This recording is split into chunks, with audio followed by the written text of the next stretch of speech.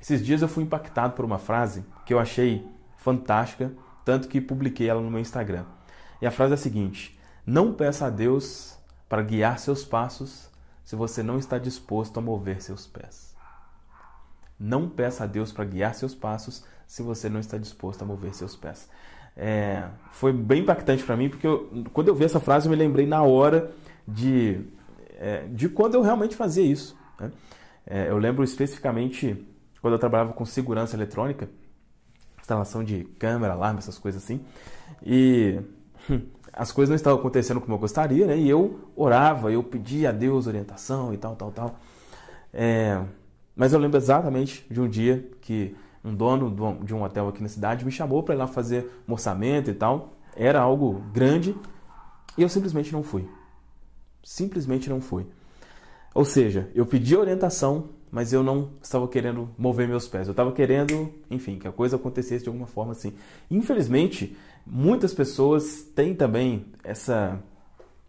É, esse tipo de pensamento, né? especialmente os assuntos que a gente conversa aqui, né? a gente conversa de lei da atração, poder do subconsciente e tal, é, tem assim, tem muita uma visão de fórmula mágica nisso assim, sabe? De ah, faça isso, repita isso, tal, tal, tal, fique esperando e tudo vai acontecer.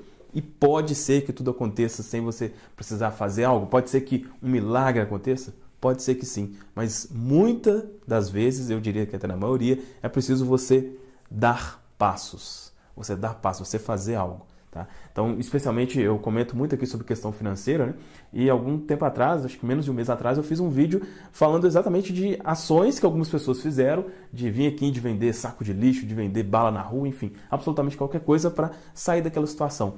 Então, esse vídeo aqui é, é para fazer você refletir, sabe? Para fazer refletir. E, e às vezes é algo desconfortável a gente saber isso, mas é necessário, é necessário o desconforto às vezes para você gerar mudança. Se pergunte, se você é uma pessoa né, que, que ora a Deus, que pede orientação, é, veja se você está disposto ou disposta a fazer você está disposto ou disposta a isso? Então, por exemplo, a questão financeira. Você está disposto a sair na rua para vender coisas? Você está disposto a bater na casa das pessoas? Se não, peça a Deus coragem para isso. Pede disposição para isso. Sabe? Porque é, muitas vezes a resposta está é, na sua cara. A resposta está aqui. Tá? Já tem alguém te falando, olha, faça isso. Mas, é, enfim, a, às vezes a gente confunde né, a questão da, da confiança em Deus e tal com uma falta de ação. Tá? E isso é um erro muito grave. Então, pega essa frase é, e reflita. Reflita se você é uma pessoa que pede, mas reflita se você está disposto realmente a agir